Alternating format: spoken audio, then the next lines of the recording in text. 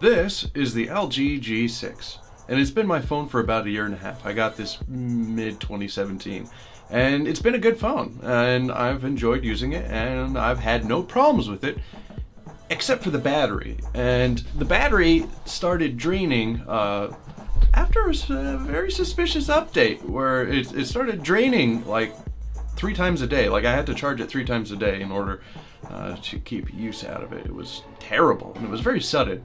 There was like a slight decline and then and uh, I was wondering whether it was the update I got from my service provider that did that. Because that would be a really sneaky, cheeky move, you know? Make an update that tanks the battery life and frustrates everyone with a non-removable battery and then they go out and get a new phone and spend $900? Well, I wasn't about to do that, so I looked into it to see uh, what had to be done in order to replace the battery. Now, this would be uh, very telling because if I replaced the battery and everything worked out perfectly, then hooray, it was just the battery and it needed to be replaced. However, if I put a new battery in and the battery life was still terrible, that means that we were getting cheated. Because I know this has happened to a lot of people. So I went on Amazon, picked out a battery that was compatible with my phone, ordered it, and made sure to order the uh, special 3M uh, I think two millimeter, two millimeter red tape, something like that. It's like a double-sided red sealing tape that's made for electronics with IP68 ratings.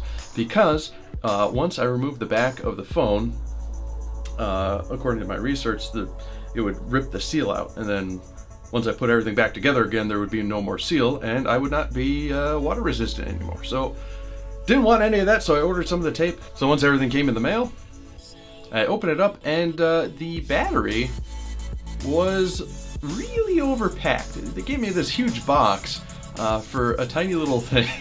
and uh, yeah, yeah, what a waste. Uh, I don't know why they overpacked it like this, but it was safe. So to pry off the back, this was the tricky part. Uh, it is a glass back, and uh, if you do it wrong, you could just inevitably break the whole backing because it's on there pretty tight. So take a hair dryer or a heat gun if you have it. If you don't have one, take a hair dryer and heat up the back, which will uh, release and loosen some of the glue that is on that tape. Once it's sufficiently heated and evenly heated, take a razor or something very, very thin and pry in between the edges there. And then gently lift up around the corners and then take uh,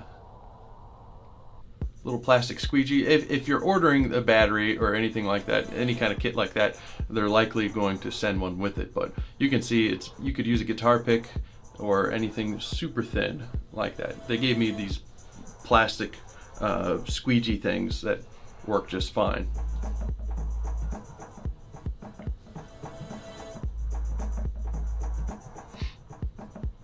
So once you very carefully, now I might, I remind you, very carefully remove the back. Then uh, you are greeted with a bunch of screws that you have to meticulously unscrew. And don't lose them because you're going to need all of those back. So obviously you need a very tiny mechanical screwdriver to do this. You can get those kits uh, almost any hardware store, but it's not going to be your typical Phillips. It's going to be a very small Phillips. There's a, probably an actual size that I should mention, but any screwdriver that comes at this size is probably coming in a kit and we'll have the well, proper fitted one in there for you.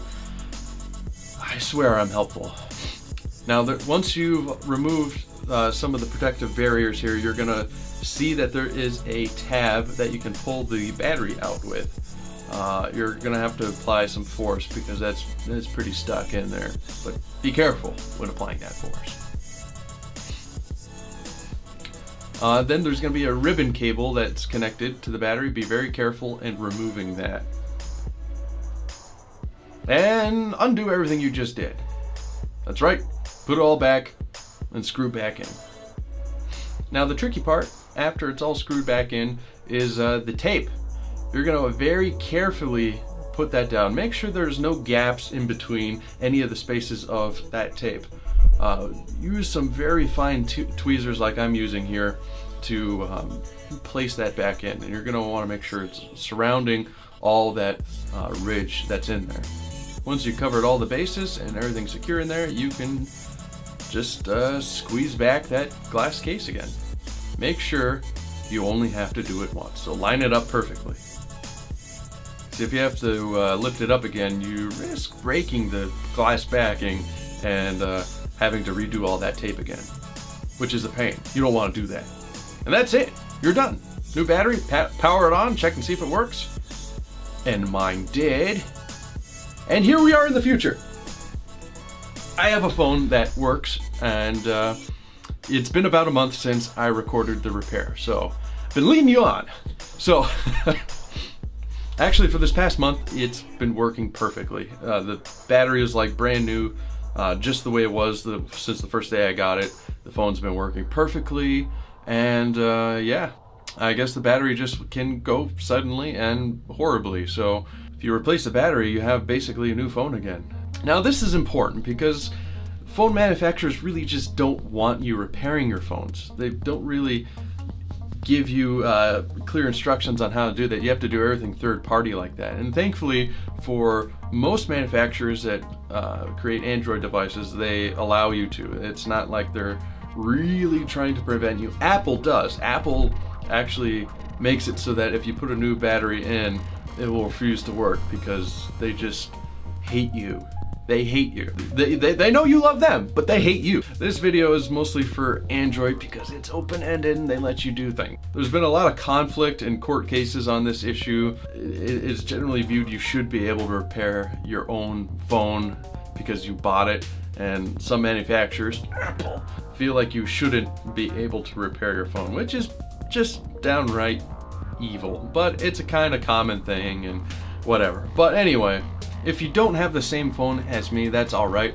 Uh, most procedures are fairly simple, especially with the non-removable ones. I mean, if it was removable, it'd be as simple as pulling off the back and slapping a new one in. But uh, most of the phones that have uh, water resistance, IP68, IP67, have something similar like this. So this is a general guideline on how to repair this type of phone. So uh, no matter what kind you have, this should this should help you.